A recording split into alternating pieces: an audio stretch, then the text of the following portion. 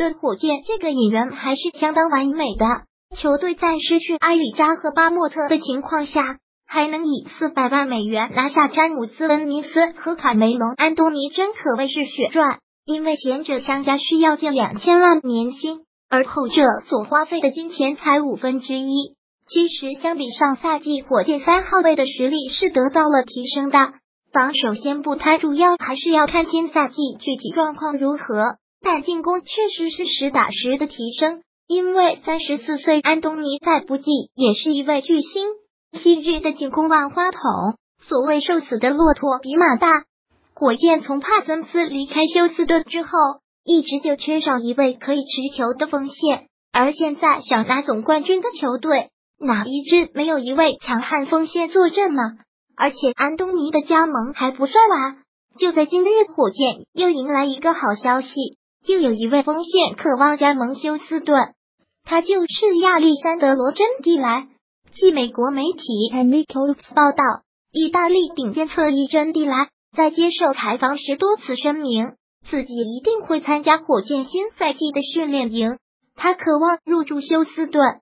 在二零一四年的选秀大会上。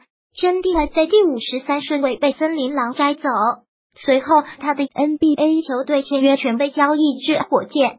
但在这四年的时间里，真蒂莱却迟迟没有和火箭签约，说白了就是瞧不上前几年的火箭。但上赛季火箭已经名声大振，他们差点就将勇士埋进坟墓。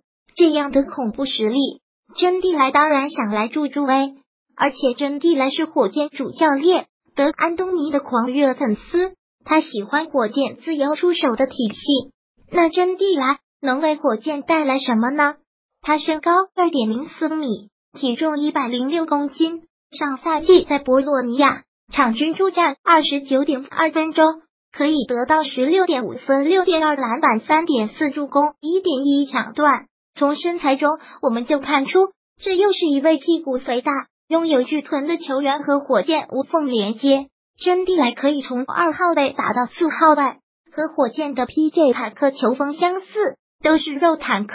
也就是说，火箭可以安排真蒂莱去打三号位，也可以让他去打小球的四号位或者五号位，他的身材都可以胜任这些位置。而且真蒂莱的身体素质在欧洲球员中也属于另类，因为他的打法凶悍，脾气又很暴躁。非常喜欢护短，只要队友受欺负，他都会为了队友而出手，以暴力解决问题。同时，真蒂莱和塔克不一样的是，他的投篮能力更强，特别是中投上非常精准，是他的最强杀招。年轻时被誉为中投靓仔，只是在三分球上属于一般水准，但在火箭的话，或许可以练出来。